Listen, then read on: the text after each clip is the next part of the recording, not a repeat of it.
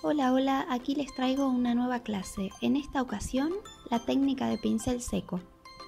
Los materiales que voy a utilizar en esta ocasión serán acrílico blanco y negro, a partir de ellos formaré un gris y luego los pinceles que necesitamos son pinceles de pelo de cerda dura. Igualmente, si no tenemos, los pinceles de pelo sintético que ya están gastados también van a servirnos para esta técnica.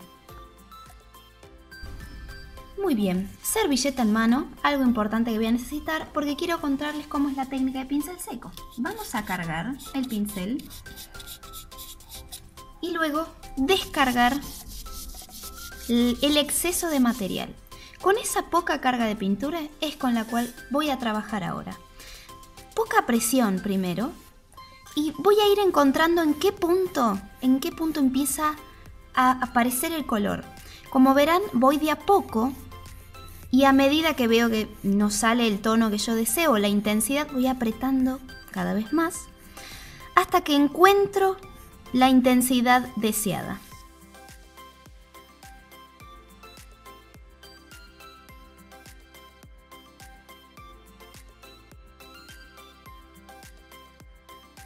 De esta manera, con el perfil de mi pincel, puedo empezar a insinuar el pelaje.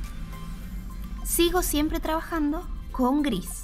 Voy a dejar el blanco para el final.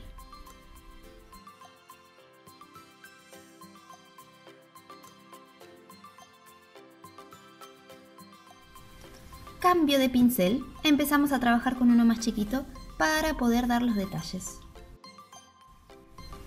Sigo trabajando con gris, pero al ser más pequeño me ayuda a perfilar el dibujo.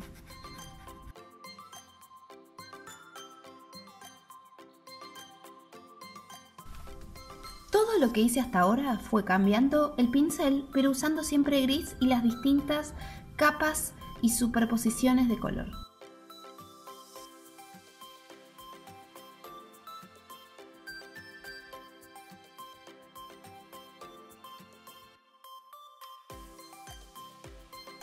Algo que queda muy bien es usar un liner, pero también con esta técnica de pincel seco.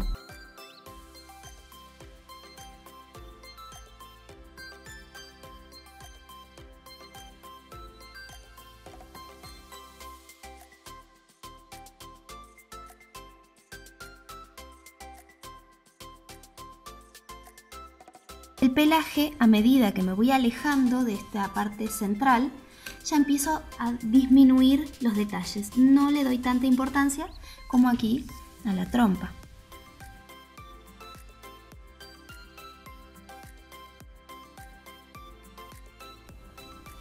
Muchas gracias por acompañarme en este video.